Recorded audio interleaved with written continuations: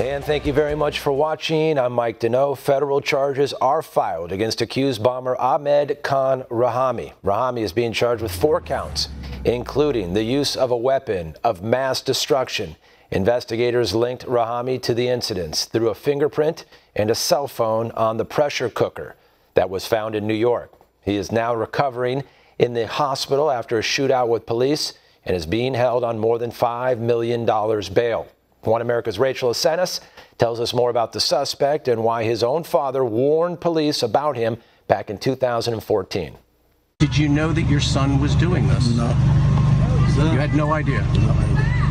That was Ahmad Rahami's father, Mohammed Rahami, saying he had no knowledge of his son's plans. But now his story seems to be changing. In an interview with the New York Times Tuesday, Mohammed said he told police he was concerned his son was a terrorist back in 2014 when Ahmad was arrested for stabbing his brother during a domestic dispute.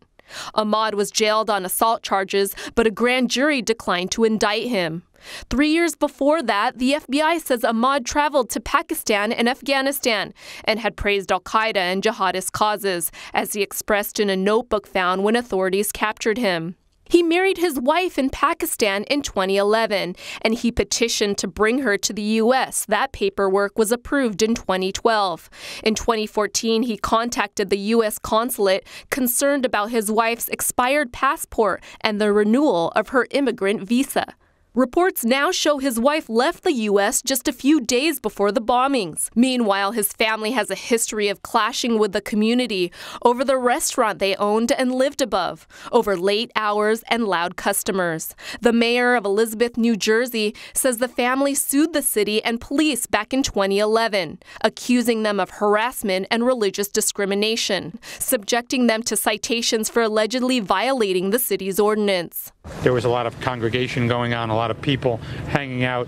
The city council was getting complaints from the neighborhood, at which time they voted to close it at 10 o'clock, which led to some uh, clashes with the police department because the police were enforcing the city council ordinance. The family lost that lawsuit in 2012. As for the investigation of the bombings, the FBI continues to speak to family members and is working with officials overseas to get a hold of Ahmad's wife for further questioning. Rachel Acenas, One America News.